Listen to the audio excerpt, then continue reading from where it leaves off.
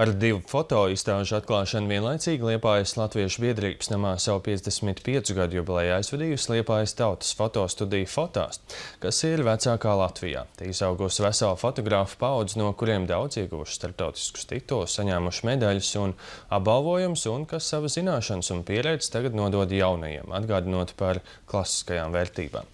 Stāst Kurzemes kolēģi. Jubilejas izstādē piedalās visu pauģu fotostudijas dalībnieki. Šoreiz te netiek rādīti tie darbi, kas guvuši prestižus startautiskus apbalvojumus, bet gan pašiem tuvie un sirdī tīkamie.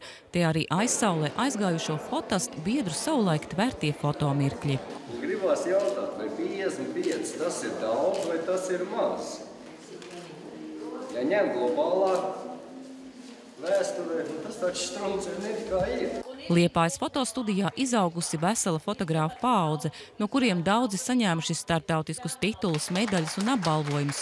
Viens no studijas dibinātājiem Gunārs Kopštāls atzīst, ka līdz ar jaunajām tehnoloģijām fotomāksla strauji attīstās, taču klasiskās vērtības nebūtu nav vecmodīgas.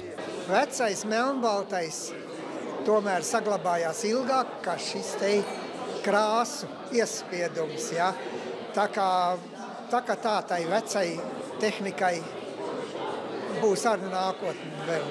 Ir ļoti svarīgi saglabāt arī cilvēcīgas attiecības tiešā skatienā, tiešā sarunā, jo mēs esam pārņemti ar digitālo fotografiju, mēs esam pārņemti ar Twitteriem un Facebookiem, un bieži vien mums tieši tā